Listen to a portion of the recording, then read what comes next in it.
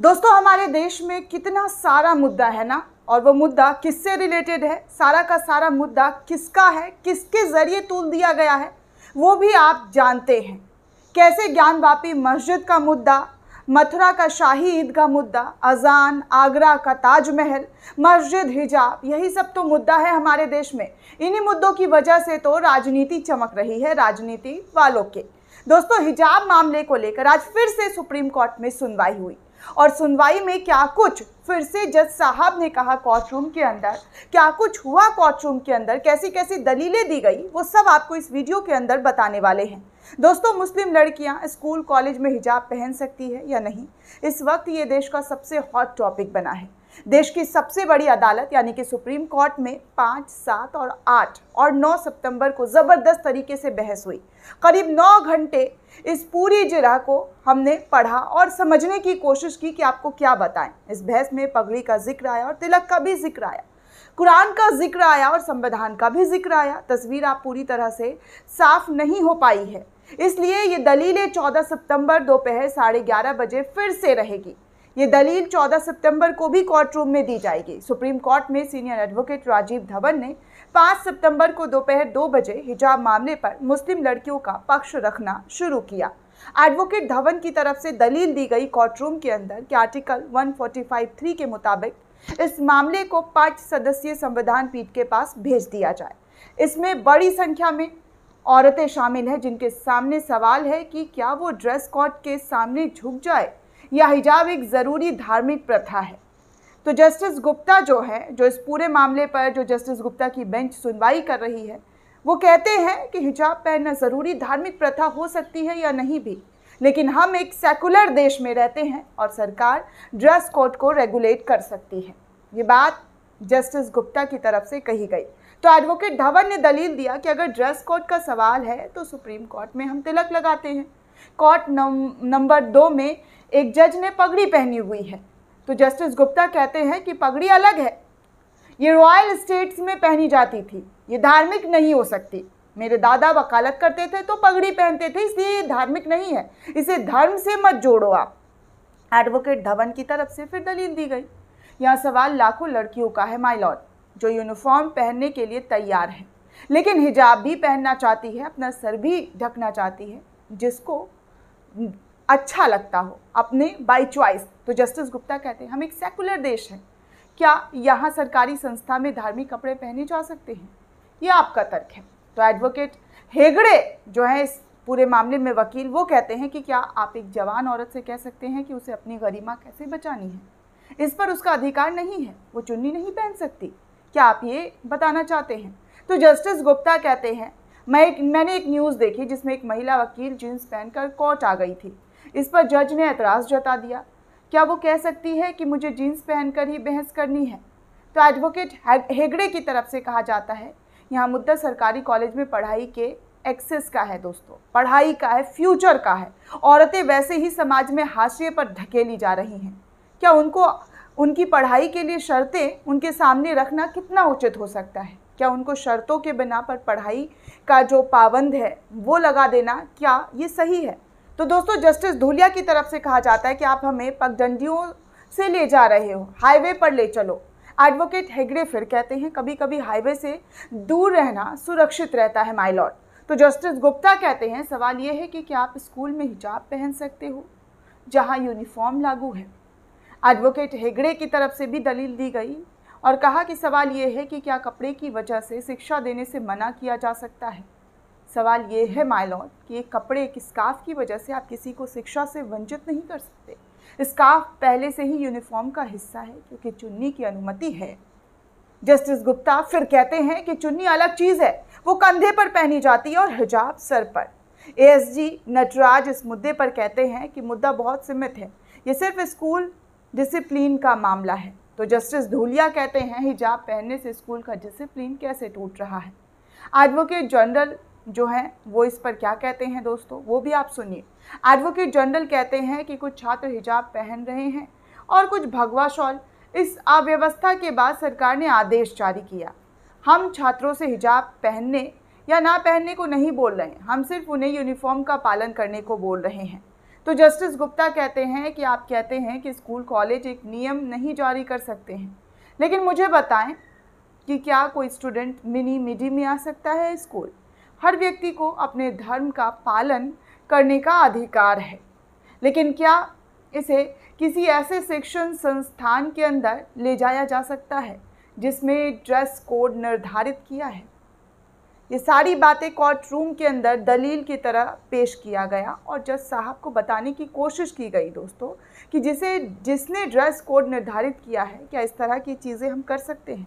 दोस्तों, आगे मामले की सुनवाई 7 सितंबर दोपहर दो बजे के लिए लिस्टेड कर दी गई है और इसके बाद भी सुनवाई होनी है। जी हाँ चौदह सितंबर को भी सुनवाई होने वाली है। एडवोकेट धवन की तबीयत ठीक नहीं थी, इसलिए मुस्लिम पक्षधारों की तरफ़ से, लड़कियों की तरफ़ से एडवोकेट कामत ने आज कोर्ट में आर्गूमेंट शुरू किए। एडवोकेट कामत ने कहा कि मैं संविधान के आर्टिकल 145 तीन के तहत मामले को संवैधानिक बेंच के सामने रेफर करने के लिए तर्क रखूँगा। इसमें छात्रों के आर्टिकल 19, 21 और 25 के तहत दिए गए अधिकारों का हनन हुआ है। मैं यूनिफॉर्म को चुनौती नहीं दे रहा सिर्फ़ सरकार को चुनौती दे रहा हूँ जो छात्रों को यूनिफॉर्म पहनने के बावजूद हिजाब नहीं पहनने दे रही हैं। छात्रें यूनिफॉर्म पहनने के लिए मना नहीं कर रही हैं बल्कि उनका कहना है कि वो अपना सर ढक सकती हैं। ये उनको राइट्स मिलना चाहिए। यहाँ तक कि केंद्रीय विद्यालय में लड़कियों को हेड स्काफ की अनुमति है।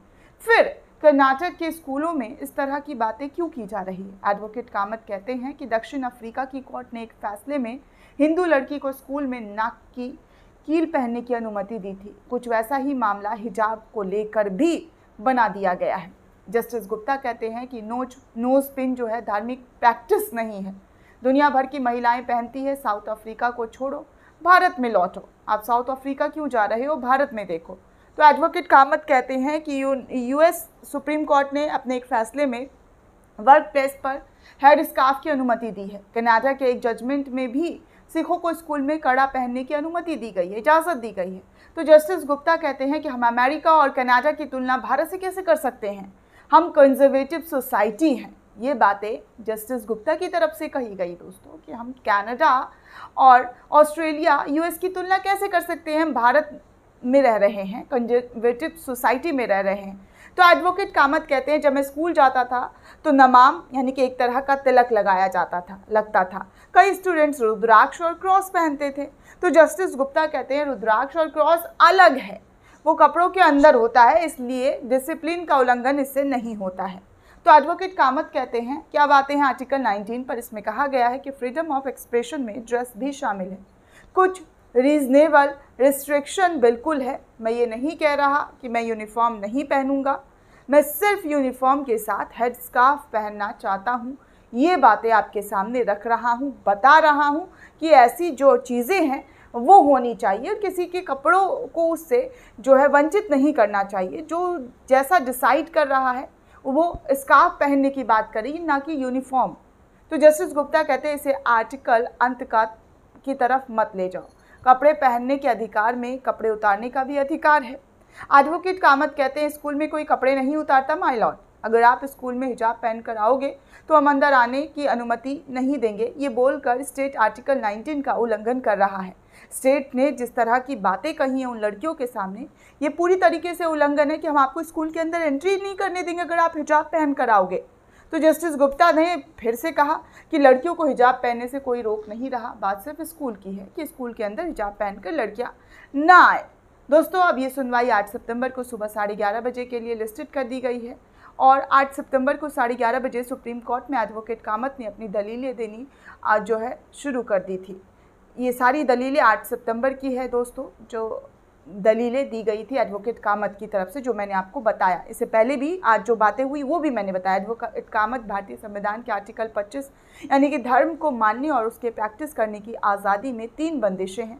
पब्लिक ऑर्डर मॉरलिटी और हेल्थ उदाहरण के लिए सीनियर एडवोकेट के परासरण नमन लगाते थे। क्या इसे पब्लिक ऑर्डर मॉरलिटी या हेल्थ का उल्लंघन होता है? इसलिए हिजाब को भी अनुमति दे देनी चाहिए। तो जस्टिस गुप्ता ने कहा कि सड़कों पर हिजाब पहनना हो सकता है, किसी को ऑफेंड नहीं करे। लेकिन जब स्कूल में पहनते हैं ना तो सवाल उठता है कि स्कूल किस तरह का पब्लिक ऑर्डर मेंटेन करता है। एडवोकेट कामत फिर से कहते हैं, आठ तारीख को जो दलीलें हुई थी उसमें कि कोई स्कूल कानून व्यवस्था को आधार बनाकर ऐसे फैसले नहीं कर सकता। कल एडवोकेट जनरल ने कहा कि कुछ छात्रों के भगवा शॉल पहनने की डिमांड के बाद गवर्नमेंट ऑर्डर जारी किया गया है। क्या हैकलर्स वीटो की अनुमति हो सकती है। जैसा कुछ उपद्रवी भीड़ एक फ़िल्म की स्क्रीनिंग के लिए खिलाफ थी, क्या इस तरह की चीज़ें हिजाब के मामले में हो सकती है? कोर्ट ने आदेश दिया है कि जब सी बी एफ़ सी ने पास कर दिया तो भीड़ कैसे रोक सकती है? दोस्तों, आपको बता दें कि इस पूरे मामले में फिर से बहस जो है याचिकाकर्ताओं की जो है दलीलें पूरी तरीके से सामने रखी गई। उस 8 सितंबर को भी मुस्लिम पक्ष की तरफ़ से, कई लड़कियाँ, लड़कियों की तरफ़ से, याचिकाकर्ताओं की तरफ़ से जो है वकील पेश हुए थे। उनमें से एक वकील जो है वो निज़ाम पाशा, उन्होंने भी अपनी दलीलें रखी। एडवोकेट पाशा, जिसने सिखों के लिए पाँच का का स्तंभ है, मुस्लिम महिलाओं के लिए हिजाब भी ऐसा ही है। उन्होंने दलील रखी कोर्ट के सामने, सिख छात्रों को पगड़ी पहनने की इजाज़त है, और इसी तरीके से मुस्लिम छात्रों को भी हेडस्काफ पहनने की इजाज़त दी जाए। तो जस्टिस गुप्ता कहते हैं पगड़ी और कृपाल को सुप्रीम कोर्ट की पाँच जजों की पीठ ने सिखों के लिए ज़रूरी माना है। इसलिए हम इस पर कोई भी टिप्पणी नहीं करना चाहते हैं। कृपान को संवैधानिक संरक्षण मिला हुआ, इसलिए दोनों धर्मों के रीति रिवाजों की तुलना आप जो है इस धर्म से ना करें। दोस्तों, आपको बता दें कि 12 सितंबर को मुस्लिम लड़कियों की तरफ़ से सीनियर एडवोकेट यूसुफ मुछला और सलमान खुर्शीद ने दलील पेश की थी। और एडवोकेट मुचला ने कहा कि कोर्ट को धार्मिक ग्रंथों की व्याख्या नहीं करनी चाहिए। इस पर जस्टिस गुप्ता ने पूछा कि फिर हिजाब को आवश्यक धार्मिक प्रैक्टिस बताते हुए कर्नाटक हाई कोर्ट क्यों गए थे? आपको कर्नाटक हाई कोर्ट नहीं जाना चाहिए था। तो एडवोकेट सलमान खुर्शीद की बेंच ने इसको कहा कि कुरान सौंपते हुए कई आयतें जो है उस पूरे बेंच को कोट करते हुए उन्होंने दलील दी।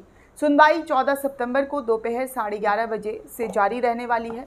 वहीं सुप्रीम कोर्ट में हिजाब मामले में सुनवाई के दौरान वकील सलमान खुर्शीद ने भी कहा कि इस्लाम में अनिवार्य और गैर अनिवार्य जैसी कोई बात नहीं है।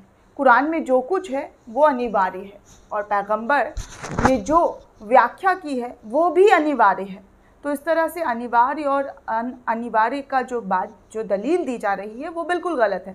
सलमान खुर्शीद ने कहा कि बुरखा हिजाब और जिलवाब की तस्वीरों को दिखाकर उनके बीच के अंतर को, अदालत को बताने की कोशिश की।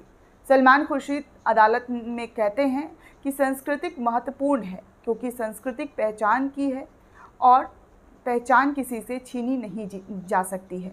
खुर्शीद ने कहा कि क्या मुझे ड्रेस कोड की सदस्यता लेनी होगी? लेकिन क्या इसका मतलब ये है कि मैं इसके अलावा कुछ भी नहीं पहन सकता? जो मेरी संस्कृति है या धर्म के लिए महत्वपूर्ण हो, वो क्या मैं नहीं कर सकता? सलमान खुर्शीद ने कहा कि जब हम गुरुद्वारा जाते हैं तो लोग हमेशा अपना सर ढक कर रखते हैं। ये संस्कृति है। ये सिखों की संस्कृति है। कुछ लोग देश में, मस्जिद में अपना सिर नहीं ढकते हैं, लेकिन भारत में हर कोई सिर ढकता है।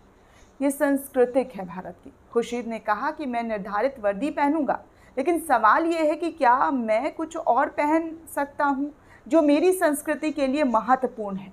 उन्होंने कोर्ट के सामने ये भी कहा दोस्तों आज कि अगर मैं सेना में हूँ तो मुझे निर्धारित वर्दी पहननी होगी।